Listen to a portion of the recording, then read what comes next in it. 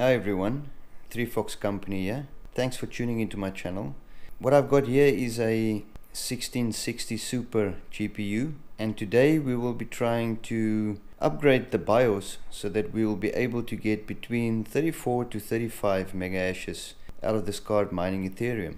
I've read an article on Reddit about a BIOS upgrade that you can get for the Palit GPUs as well as the MSI GPUs to enable it to do up to 35 megahashes on Ethereum. I've also seen some other YouTubers that's done the same with this card and they were achieving great results. So today we will be trying to also do the BIOS upgrade and see if we can get better performance out of our 1660 super cards. So here I've got my 6 GPU 1660 super rig which I've built recently. So far it's been performing very good. My reported hash rate was around 190.5 mega hashes and I've been doing average around 186 mega hashes on this rig. You can see now that I've only got five cards installed. I've removed number six, which I'll be doing the BIOS upgrade on. And then we'll be testing to see if we can get the increased hash rate. If we achieve good results, then obviously I'll be doing all of these cards to see if we can increase the total hash rate of this uh, mining rig. Okay, so here I've got the EVGA 1660 supercard installed into my old test PC. Uh, I just had to put in a 6 pin to 8 pin splitter as my ATX power supply doesn't have 8 pin connectors. So now that this is connected, uh, let's go onto the desktop and see how we're going to do the upgrade and then see what the results are.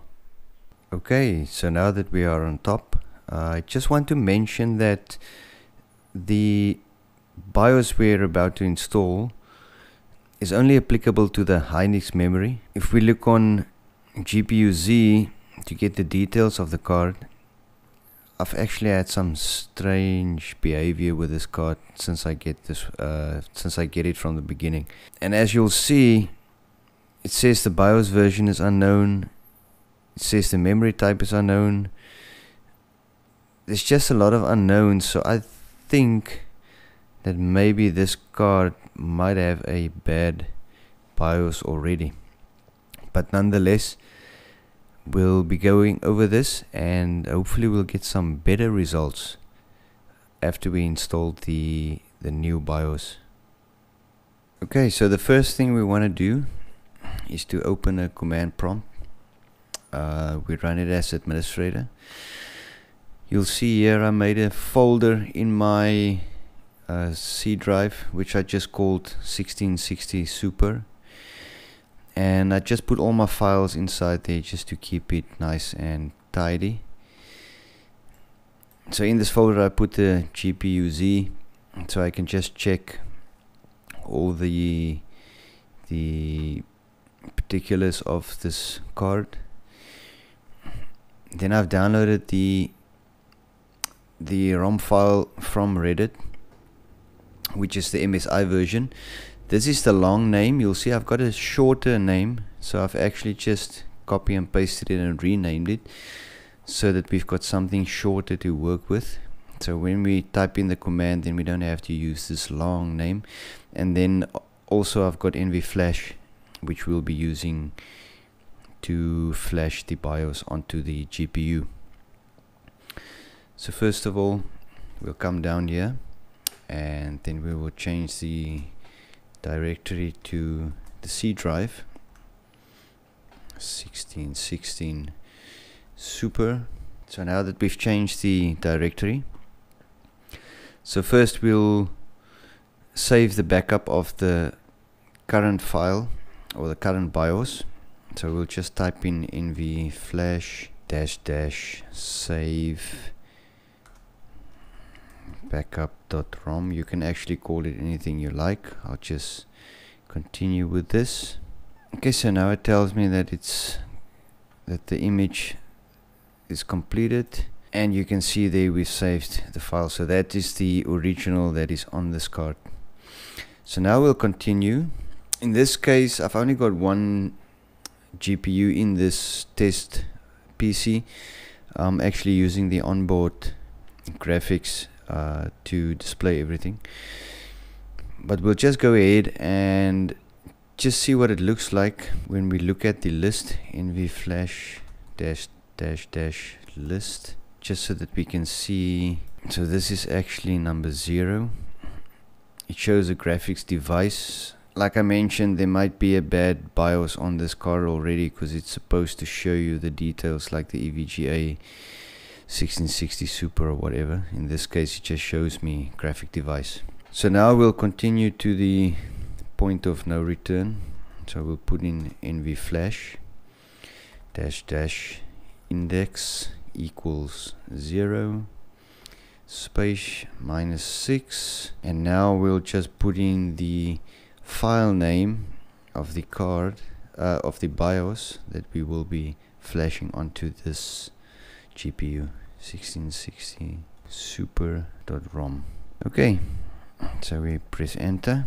So now it's asking me if we want to go ahead and do this. So remember this might work for me it might not work in your instance. Please do this at your own risk because you might end up breaking the card completely. So we just say yes and just yes again.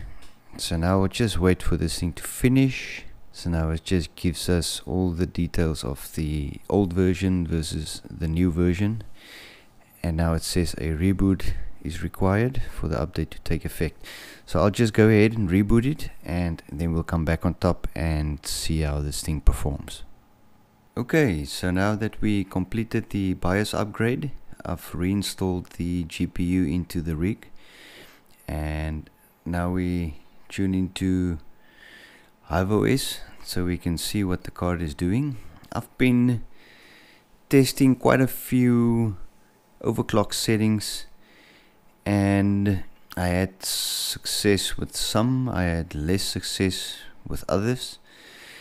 And currently 2500 on the memory and 1050 on the core seems to be the most stable I had this up to 2600 then it would run for you know couple of minutes 10 minutes 20 minutes. Then it will crash the rig. Then I have to reboot it. So I've played a, uh, with a lot of settings with the core. I've played a little bit on the memory I played. And it seems like this 2500 on the memory and 1050 on the core seems to be the most stable of course this 2500 is based on HiveOS so on uh, MSI Afterburner this will be 1250 if we come over to the to the shell in a box we can actually see that I'm currently on this one drawing or hashing 34.34 that still gives me quite a decent amount of efficiency just under 400 kilohashes per watt uh, at 86 watts. You can see that there's quite a significant increase in the fan speed to keep the temperature stable because I'm running the auto fan and it's much higher than the others. So I'll have to do some more testing to see if this is not going to create a problem when we've got warmer days currently we're in the winter season so it's actually quite cool. So yes my reported hash rate previously was 190.5 I've actually gained a little bit. So it seems like it's working. I've, you can also see now that this EVGA card that I flashed now shows up as an MSI card obviously because it's got a MSI BIOS installed. But so far I'm happy with the results. So I'll be running this overnight and then see if it remains stable or not. Based on that then I'll make the decision to maybe continue with the EVGA cards and then see how they are running. That I'll do in a separate video. And then the Asus cards I'll also test uh, again in a later video. So I hope you enjoyed this video. Thanks for tuning into the channel. If you liked the video, please subscribe and also hit the notification bell to get uh, future videos.